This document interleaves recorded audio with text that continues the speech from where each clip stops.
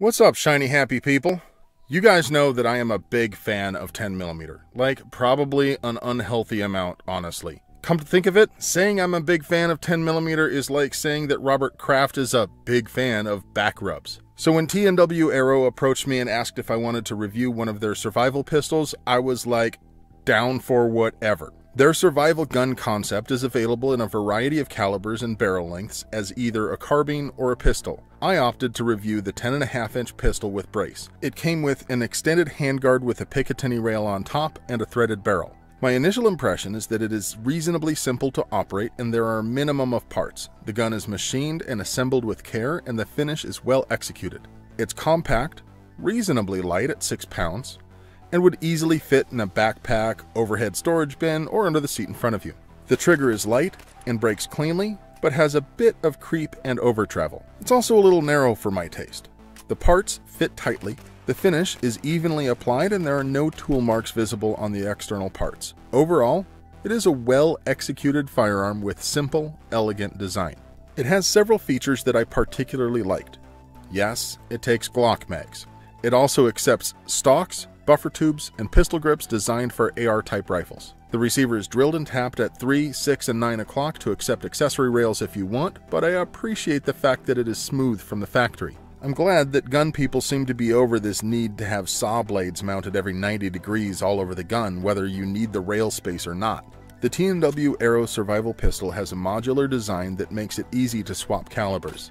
You can convert to a different caliber simply by changing out only the relevant part. There are four bolt sizes and three trigger housings. The receiver tube is the serialized part. One standard receiver tube can accept different bolts, barrels, and trigger housings. For example, you can go from 10mm to 45 by just changing the magazine, barrel, and bolt. To go to 9mm from 10mm or 45, you would also need the smaller trigger housing to fit the smaller 9 40 caliber magazine size. 9mm and 40 use the same trigger housing as do 10mm and 45 auto. The practical upshot is this gun can be configured for 22 long rifle, 9mm, 357 SIG, 40 Smith & Wesson, 45 auto, or 10mm and there are a variety of barrel lengths to choose from in each caliber. But it also has some design choices that seem odd to me.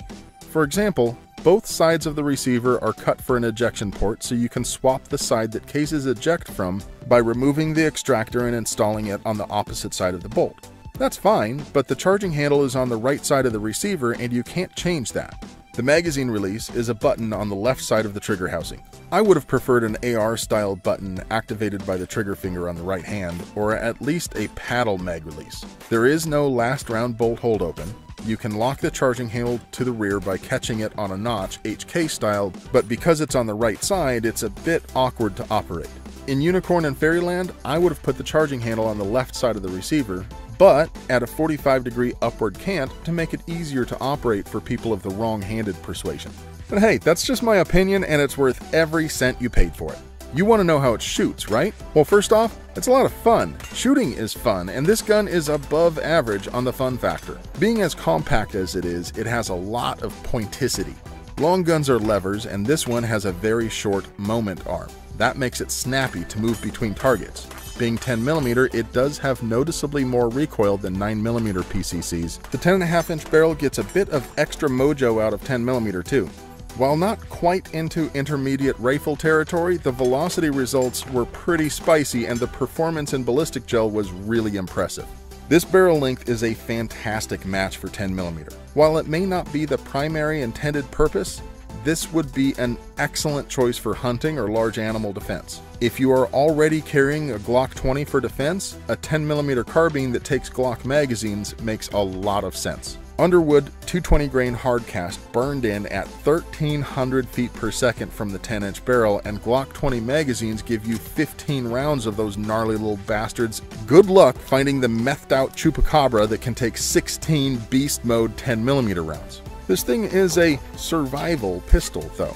That means it needs to work in less than ideal conditions, so I tossed it in a barrel full of dirt and dragged it around for a while. Initially, it didn't work when I took it out of the barrel because the witness holes on the back of the Glock magazine allowed a ton of dirt to get into the magazine and it wasn't pushing rounds up. They were literally falling out of the magazine. You can hardly blame that on the gun though. After I stripped the rounds and reloaded the dirty magazine, it had only one stoppage. With a separate, clean magazine, the gun ran like a Skynet disposal unit. Obviously, a shit ton of dirt inside the magazine could stop up any gun. If you plan to keep this somewhere that it might get exposed to a lot of dirt, it wouldn't be a bad idea to wrap a bit of tape around the portion of the magazine that extends below the gun. Later, after cleaning and lubing, I took it to a Wednesday night steel match at Cowtown in Peoria, Arizona.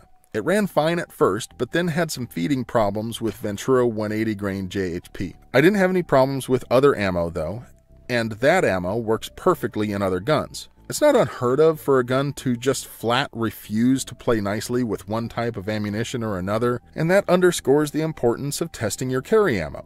At least it's not a 1911 that refuses to cycle any hollow points at all because I'm cold and there are wolves after me. Still, I emailed TNW and told them about the problem. They had me send it back for repair. When it got back, it ran perfectly. What's my bottom line?